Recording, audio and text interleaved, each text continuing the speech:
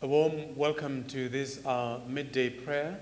And as we come together, we become aware of the God who is present in our midst, wherever we may find ourselves.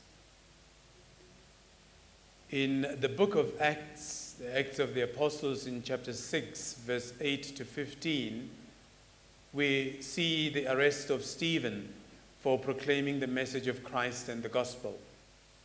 Stephen is fearless because all that he says is being guided by the Holy Spirit, and Stephen is content, so much so that we are told his face appeared to them like the face of an angel. In John chapter 6, verses 22 to 29, Jesus has just fed the 5,000, broken five small barley loaves into great quantities of bread but here he says, Do not work for food that spoils, but for food that endures to eternal life. We are called to believe in Christ even to the point of suffering for him, like Stephen did. Let us pray for the church and for all Christians that, like Stephen, they may give fearless witness to the teachings of Jesus, even at the risk of persecution.